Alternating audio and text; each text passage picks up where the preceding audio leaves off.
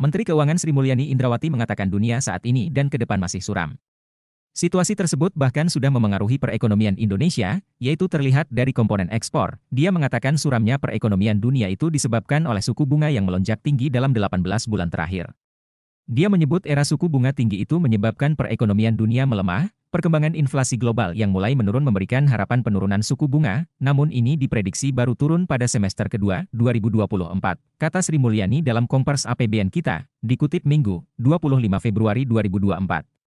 Sri Mulyani berkata banyak negara menggunakan anggarannya secara besar-besaran saat pandemi.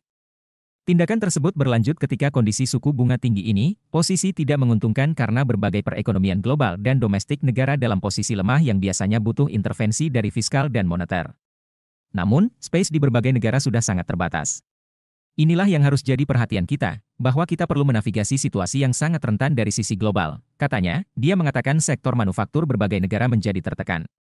PMI manufaktur yang kontraksi atau angka indeksnya di bawah 50 adalah kawasan Eropa, termasuk Jepang, Perancis Italia, Inggris, Jepang Thailand, Malaysia, Turki, Kanada, dan Afrika Selatan, artinya dunia masih dalam posisi yang ringkih atau rentan. Kata Sri Mulyani.